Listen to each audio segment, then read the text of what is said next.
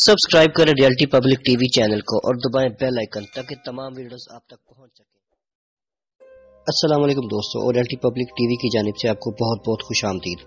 दुनिया में बहुत से ऐसे लोग पाए जाते हैं जिन्हें पढ़ने लिखने का बहुत ज़्यादा शौक होता है। ये लोग बहुत जीनियस कहलाते हैं। ऐसे ही दो जीनियस साइंसदान जिनके कारनामों से पूरी दुनिया वाकिफ है।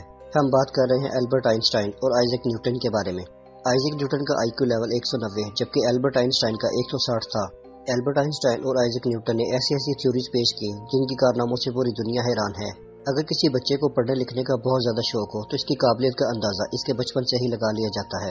दुनिया में ऐसे बहुत से लोग पैदा हुए हैं, जिन्होंने अपना नाम पूरी दुनिया पर बनाया। अगर इस दुनिया में काबिल इंसानों की बात की जाए तो हर इंसान का आईक्यू लेवल होता है। दुनिया में कई ऐसे इंसान हैं, जिन्होंने अपनी ईजाद से पूरी दुनिया को हैरान कर दिया। लेकिन क्या आप ये बात जानते हैं कि दुनिया में एक ऐसा शख्स भी आया था, जिसका आईक्यू लेवल एल्बर्ट आइंस्टाइन और आइजक न्यूटन से ज़्यादा था? इस शख्स का आईक्यू लेवल हैरान कुल हद तक 260 आईक्यू था। इस शख्स का पूरा नाम विलियम जेम्स था।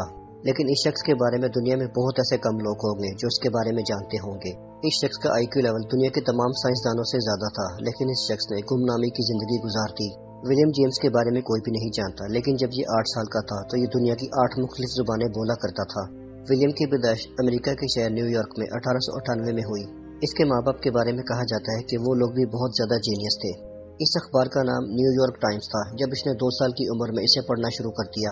जब ये सिर्फ़ आठ साल का था तो ये दुनिया की आठ मुख्त जुबानें बोल लिया करता था, और ये इसने अपने बलबूते पर मेहनत करके हासिल की थी।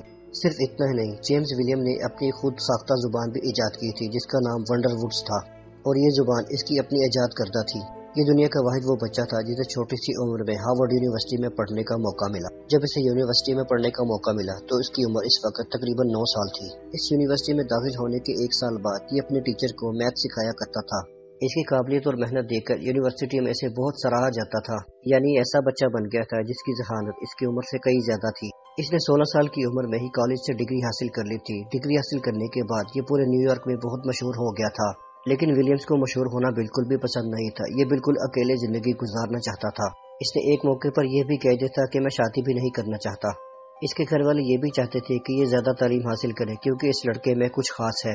इसने अपने बाप की बात बिल्कुल भी न मानी, क्योंकि ये जानता था कि अगर ये और ज़्यादा पढ़ने लग गया तो और मशहूर हो जाएगा। इसकी वजह से इसकी और इसके बाप के दरमियान शदीद लड़ाई हो गई। इसकी और बाप के दरमियान लड़ाई इतनी शदीद हो गई थी कि अपने बाप के मरने के बाद इसकी आखिरी रसूमात में भी शामिल न हुआ। इसे एक बार गिरफ़्तार भी कर लिया गया था, क्योंकि इसने आलमी जंग के खिलाफ तकारीर की थी। लेकिन इसकी फैमिली और चंद अफराद ने इसकी बेल करवा ली थी। इसने गुमनामी की ज़िंदगी गुजारने के लिए रेस्टोरेंट में भी काम किया था। चंद लोगों का मानना था कि अगर अपनी जहानत इस्तेमाल करता तो दुनिया में बहुत बड़े बड़े कारनामे कर सकता था, लेकिन इसने अपनी जिद और अना को मलहूज खातिर रखा और किसी की भी परवाह न की।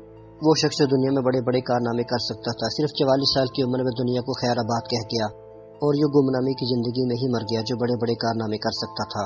दोस्तों उम्मीद करता हूँ मेरी आज की वीडियो आपको पसंद आई होगी। पसंद आने की सूरत में इस वीडियो को लाइक करें और चैनल को सब्सक्राइब कर दें और बेल आइकन पर लाजमी क्लिक करें ताकि आने वाली नई वीडियोस का नोटिफिकेशन आपको पर वक्त मिल सके। इस वीडियो के बारे में अपनी कीमती राय से ज़रूर आगाह कीजिएगा। नए आने वाले दोस्तों से गुजारिश है कि चैनल को सब्सक्राइब ज़रूर कीजिएगा। इस चैनल के बारे में कमेंट करके बताइए कि हम इस चैनल को और ज़्यादा बेहतर कैसे बना सकते हैं। मुझे आपकी राय का इंतज़ार रहेगा। मैं मिलूँगा आपको नेक्स्ट वीडियो में। तब तक अपना और अपने गिरदनवा के लोगों का बहुत ज़्यादा ख्याल रखिएगा।